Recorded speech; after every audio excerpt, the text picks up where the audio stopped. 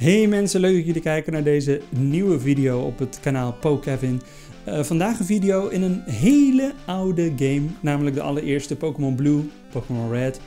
Um, met een leuk dingetje, uh, vind ik zelf. Uh, iets wat ik eindelijk zelf heb kunnen uitvogelen, namelijk hoe je Mew kan vangen in deze eerste games. Iets wat mij nooit gelukt is. Ik volgde altijd de theorieën over gaan zoeken in de vrachtwagen, bij de haven uh, doe deze en deze truc, loop 16 keer heen en weer daar. Er waren allerlei theorieën, maar als kind heb ik nooit Mew gehad in de game. Dus deze keer ga ik jullie uitleggen hoe jullie die heel makkelijk kunnen vangen. En waarom nu? Dat is omdat ik dus nu de game weer gevonden heb bij mijn moeder op zolder. En het dus weer kan spelen op mijn tv. En ik ben opnieuw begonnen. Jullie zien al mijn level 16 Pokémon. Uh, wat me heel veel nostalgie gaf. En ik dacht, wacht even. Nu wil ik Mew hebben early game. Ik weet namelijk dat het kan early game, namelijk vanaf de tweede gym. Of in ieder geval wanneer je in het stadje bent van de tweede gym, Cerulean City. Wat je daar namelijk voor nodig hebt is een Abra. Een Abra die je kan vangen aan de bovenkant van de brug, de Nugget Bridge, waar je die vijf trainers achter elkaar hebt en die Team Rocket, Grunt. En als je daar voorbij bent, heb je een grasveldje, kun je Abra vangen. Je moet namelijk een Abra hebben die teleport kan. Dat is eigenlijk het enige wat je van tevoren nodig hebt. En dus uiteraard die trainers hebben verslagen. Vervolgens loop je namelijk naar boven richting die brug en moet je een paar specifieke dingen doen. Um, ja, die eigenlijk best wel lastig zijn. Uiteindelijk ga je namelijk hier Mew tegenkomen. Recht op de brug. Echt super random. Ik wist het niet, maar daar gaat het allemaal gebeuren. Wat je namelijk doet is, je gaat hier zo naar links als je Abra hebt gevangen en je hebt deze trainers gehad. Abra kan je dus vangen hier in het grasveldje. Daar heb ik het in ieder geval gedaan. En wat je ook al gedaan uh, moet kunnen hebben, is een aantal trainers die je hier al verslagen hebt. Dat is um, die meneer hier zo. Uh, je kan ook al die meneer hieronder verslaan. Die jongen uh, daarboven. je kan zelfs dat meisje al verslaan. Maar die jongen hier rechts in beeld, die moet je dus nog niet verslaan. Die moet je bewaren voor de truc die we gaan uithalen. Hij heeft namelijk een Slowpoke en Slowpoke is in de code van de game blijkbaar heel dicht bij de code van Mew. En zo gaan we eigenlijk het spel een soort van foppen. Wat we namelijk gaan doen is hier zo naar beneden lopen. En op het moment dat de trainer die daar staat jou ziet, als we nog één stap naar beneden doen, moet je direct op start drukken en naar het pauzemenu gaan, zodat je kan opslaan en kan teleporten. Ik heb hier even opgeslagen, want stel het gaat mis, dan ga je terug naar hier. Dan kan je het opnieuw proberen, want je moet echt precies getimed drukken. Dat is me gelukt. Ik heb uh, precies op het moment dat die trainer mij normaal gesproken zou zien, op start gedrukt. Wat je nu doet, is naar je Abra en je teleporteert jezelf terug naar het Pokécenter. In Cerulean City, want dat is het laatste Pokécenter waar je geweest bent. Je ziet dat icoontje van hey, ik heb je gezien, maar het is niet getriggerd, dus je gaat terug. Wat we nu nodig hebben, is dat we wederom naar boven gaan en met die jongen gaan vechten die een Slowpoke heeft. Dus daar gaan we heel eventjes naartoe. We wandelen gewoon weer de brug naar boven. En um, om een beetje eerlijk naar jullie te zijn, dat jullie niet denken, ja, je kan wel een eind weglullen, maar volgens mij is dit ook allemaal gehackt en een truc en je doet maar wat uh, om ons te foppen. Nee, ik laat het gewoon in zijn geheel zien.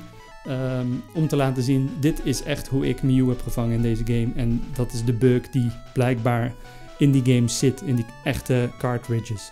Dus we gaan nu met deze jongen vechten. Um, we zetten een stapje vooruit. Volgens mij sla ik ook nog een keer op. Nee, niet? Oké. Oh ja, dat is ook zo trouwens. Je moet zorgen dat die persoon één stap naar voren zet. Dus je moet niet recht voor zijn neus. Je moet één dingetje omhoog. En dan opzij lopen, zodat hij dat stapje naar voren zet. Ook heel belangrijk, blijkbaar. Heb ik allemaal moeten opzoeken. Hij heeft één sloop ook, dus die gaan wij verslaan, tenminste, proberen. Dat moet ons wel lukken met een Zubat, met Leech Live of Bite. Want deze Slowpoke oh, is toch best wel sterk. Had ik eigenlijk niet verwacht. Heb ik deze battle helemaal laten zien? Ik denk het wel. Uh, blijkbaar doe ik Supersonic.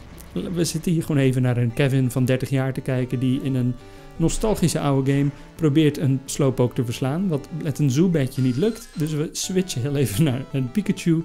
Die gaat het klusje wel klaren, want Slowpoke is natuurlijk een water-Pokémon. En Pikachu met Thundershock zou meer damage moeten kunnen aanrichten. Kom maar, kom maar, kom maar.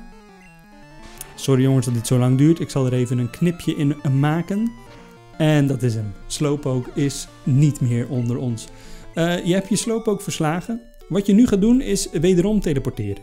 Dus niet helemaal teruglopen naar het Pokécenter. Je gaat gewoon weer naar die Abra en je drukt weer op teleport richting het Pokécenter. En wat er dan gaat gebeuren, dames en heren, ik ga even verzitten, want ik krijg een beetje kramp in mijn uh, voet.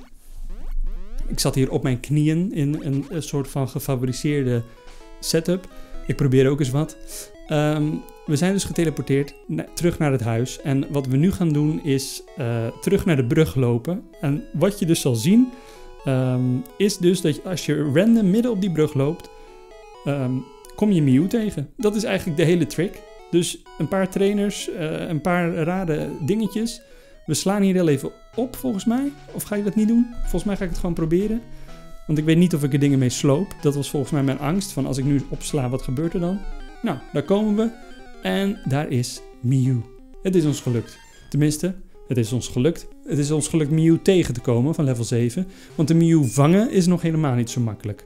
Um, ik ben natuurlijk hartstikke bang dat ik Mew vermoord. Uh, want Mew is level 7, al mijn Pokémon zijn level 16, level 17. Dus ik moet Mew een soort van zien te verzwakken. Want je zal zien, een Pokéball gooien heeft geen effect. De Mew is gewoon te sterk. Dus ik moet Mew op de een of andere manier zien te verzwakken. Uiteindelijk kies ik ervoor om dat te doen met Pikachu, omdat ik bang ben dat Butterfree het uh, klusje iets te goed gaat klaren, dus Mew zou vermoorden. En Pikachu die kan natuurlijk uh, Thunderwave, daarmee kan ik in ieder geval Mew al paralyzen. En iedereen die Pokémon speelt weet wel dat als een Pokémon slaapt, uh, poison, geparalyzed is, dan heb je iets meer kans om hem te vangen. Nu zie je ook dat Mew in de bal gaat, ook met full health, maar ja, het is gewoon zinloos. Dus ik besluit toch een quick attackje te proberen. Nou, dan zie ik dat ik eigenlijk best wel veel quick attackjes kan doen, want Mew is eigenlijk dus niet zo super zwak als dat ik dacht op level 7. Helaas kan ik niet die derde quick attack doen, wat ervoor zorgt dat ik toch nog een andere Pokémon moet inzetten. Uh, maar ik weet gewoon niet welke Pokémon een aanval kan die maar zoveel damage doet. Dus uiteindelijk ga ik hier toch weer voor de Pokéball techniek. En um, tot mijn verbazing had ik er maar een paar nodig. In deze bleef hij niet zitten. Ik gooide er nog één en volgens mij bij de derde bleef hij zitten. Uh, we gaan eens even kijken. Ik had nog 10 Pokéballs, dus ik maakte me niet heel veel zorgen. Uh, maar hier werd het toch al een beetje heet onder mijn voet. Ik dacht, nou, het één wiggle. Ik, ik hoop toch wel dat hij een beetje blijft zitten. En volgens mij was dit het moment dat hij bleef. Nee, ook niet. Oké, het werd toch nog een stukje spannender. Het is even geleden dat ik dit heb opgenomen. Ik gooide nog een pokebal. Bleef die zitten? Jazeker, dames en heren. We hebben Mew gevangen. In deze game, zonder rare hacks en, en dingen heen en weer traden. Maar gewoon door simpelweg op een paar momenten bepaalde trainers te verslaan. En op bepaalde momenten te teleporten en op save te drukken. Dus, dames en heren, voortaan weten jullie ook hoe je in Pokémon Blue, Pokémon Red, ik denk ook in emulator vorm, mocht je deze oude nostalgische games gaan spelen, um, hoe je Mew moet vangen. Vrij early game. Dus dat, mensen, ik wil jullie bedanken voor het kijken. Uh, het was een soort ja, uitlegvideootje. Uh, ik heb dit voor mezelf geprobeerd en ik dacht van nou, misschien zijn er meer mensen die dit willen weten. Dus bij deze. En als dat niet zo is, dan heb ik het in ieder geval voor mezelf opgenomen en uitgelegd of zo. Mensen, bedankt voor het kijken. Hopelijk tot de volgende video en uh, ja, tot kijk.